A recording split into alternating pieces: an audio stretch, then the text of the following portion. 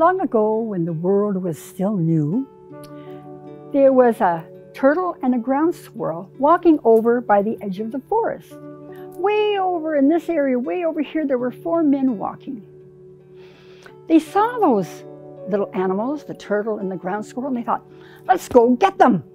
So they ran over and they grabbed them and brought them back to their campfire and threw them on the ground. And that one man, he looked, he says, ah, let's just kill them. And the other guy said, well, maybe we should find out what they do first. Oh, all right. So that man, he looked down at that little ground squirrel and he said, what do you do?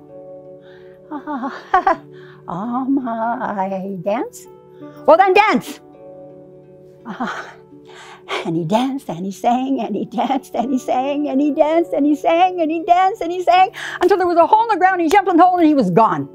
When that happened, the little turtle ran as fast as he could towards the fire. He was running towards the fire going and they said, stop him, stop him. That's probably his home. And they ran over and they, just like that, they put their foot down on his little back. And they looked and they said, we know what we're going to do with you.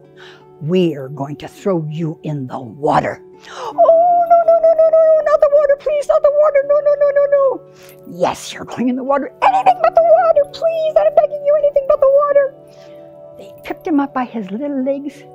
One, two, three, and threw him way out into the water. Showed him who's boss.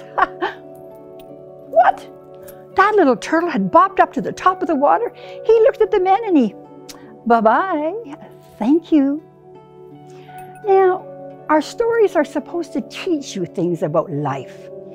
This one, I feel, teaches us that you don't have to be big and strong. You know, you just have to use what we have up here and use common sense. So that's what that little turtle did. He was using his brains and his common sense. You don't have to be all muscles.